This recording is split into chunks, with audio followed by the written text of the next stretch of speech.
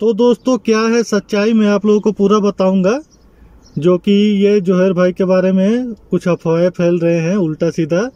तो मैं आप लोगों को पूरा डिटेल बताऊँगा, पूरा अरबी से हिंदी में बताऊँगा आप लोगों को पूरा डिटेल में।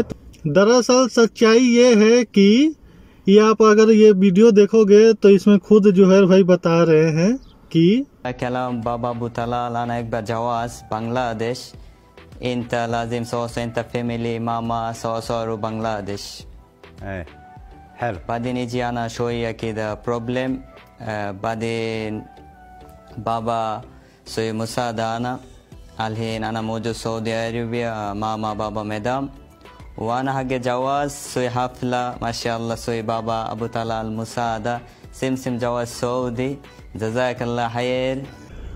हाँ तो दोस्तों, वीडियो में आप लोगों ने देखा जोहर भाई खुद अपने मुँह से क्या बोल रहे हैं कि वो अपने कफिल से बोले कि मैं बांग्लादेश जाना चाह रहा हूँ शादी करने के लिए, मगर थोड़े पैसे की कमी है, थोड़ा तकलीफ़ में हूँ मैं।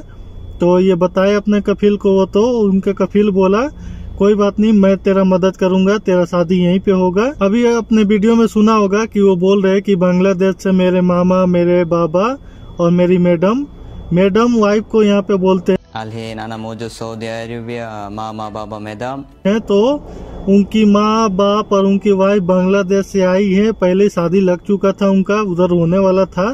मगर क्योंकि कफील बोला कि हम शादी यहीं पे कराएँगे तो वो जोहर भाई अपने माँ, बाप और अपने होने वाली वाइफ को यहीं सऊदी में बुला लिए और यहीं पे शादी हुआ। तो लड़की ना ही कोई इंडियन है, ना कोई सऊदी है, ना कोई खदामा है। वो बांग्लादेश में उनका शादी लगा था, वही इधर आई है और उनका शादी इधर सऊदी में हुआ है। तो सऊदी कफील ने सिर्फ़ शादी का अरेंजमेंट किया है। ये नहीं कि सऊदी लड़की से ही शादी करा दिया है या फिर इंडियन खदामा से शादी करा दिया है, ऐसा कुछ नहीं है।